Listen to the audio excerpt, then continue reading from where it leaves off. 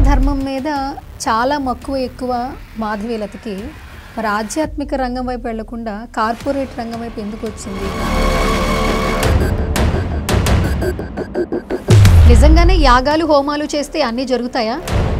మరి ఎప్పుడు యాగాలు హోమాలు చేసే కేసీఆర్ గారు ఎందుకు ఓడిపోయారంటారు? ఎటువంటి యాగాలు చేయని రేవంత్ రెడ్డి ఎందుకు గెలిచారంటారు? అంటే దేవుడు అంటే తమాష అయిపోయిందమ్మా. మనకు కావలసినప్పుడు ఎవరిని ఎట్లా వెటకారంగా మాట్లాడాలని మనం కావాలని కోరుకుంటే.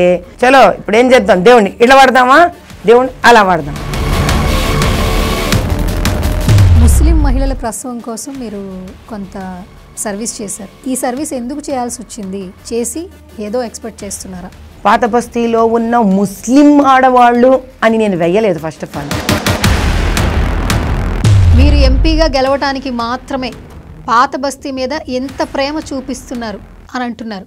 ఈ రోజు ఎంపీగా పోటీ చేయడానికి ఏడేళ్ళ నుంచి చూపిస్తున్నానా? స్కాములు చేయలేదు సేవలు చేశాను అసదుద్దీన్ ఓవైసీ మీద మీరు ఎప్పటికీ గెలవలేరు.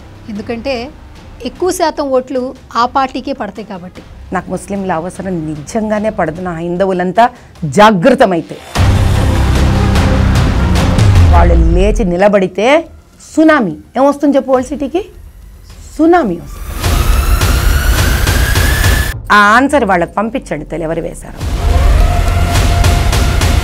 కరోనా టైంలో జనాల ప్రాణాలను అడ్డం పెట్టుకుని అక్రమంగా వసూళ్ళు చేశారు అని చెప్పి మీ హాస్పిటల్ మీద ఒక ఆరోపణ ఉంది. మీరు ఈ ప్రశ్న వేసిన నెక్స్ట్ టైం మీకు ధైర్యం ఉంటే విమర్శ వీళ్ళు వీళ్ళు వీళ్ళు వీళ్ళు వేశారని పేర్లతో సహా నన్ను అడగండి. కరోనా ట్రీట్మెంట్ సంబంధించి విరించి హాస్పిటల్ చేయడానికి లేదని ప్రభుత్వం నిషేధం విధించిందనే న్యూస్ వైరల్ అవుతుంది. మీకెవరు ఎక్కడి నుంచి ఏ ఇన్ఫర్మేషన్ ఇచ్చారు? ఇప్పుడు నేను త్రో చేస్తాను ఛాలెంజ్ చేత అయితే. అప్పటి వరకు వాళ్ళకి ఎవ్వరికి నన్ను ప్రశ్న వేసే అర్హత లేదు. విరించి హాస్పిటల్స్లో ప్రస్తుతం మీ పాత్ర తగ్గుతూ వస్తోంది. వేరొకరికి పాత్ర పెరుగుతూ వస్తోంది. యాజమాన్యం కావాలనే మీ పాత్ర తగ్గించింది అనే మాట వింటూ ఉన్నాం. ఏమిటి ప్రశ్న? ఏమిటి ప్రశ్న? నాకెందుకమ్మా